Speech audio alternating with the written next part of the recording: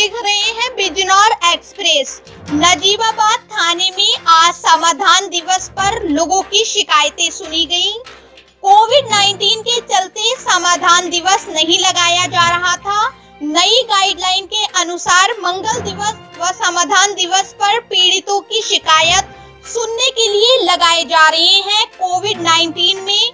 मंगल दिवस व समाधान दिवस नहीं लगाए जा रहे थे। आज नजीबाबाद थाने में समाधान दिवस पर नजीबाबाद कोतवाल संजय शर्मा ने लोगों की शिकायत सुनी। हालाँकि लोगों को जानकारी न होने पर थाने में कमी लोग पहुँच पाए। कोरोना काल के चलते आज समाधान दिवस पहली बार लगाया गया। नजीबाबाद से अल्ताफ रजा की रिपोर्ट। ऐसा कितनी शिकायतें दर्ज हुई आज एक ही शिकायत है। उसमें टीम भेज दी गई है। हाँ लोगों को कम जानकारी थी। थाना दिवस की इसलिए कम लोग आए समस्या वाले जी सर। एक शिकायत आई थी संबंधित लेखपाल को दे दी गई अभी तो टाइम है आधा घंटा और दो घंटा। है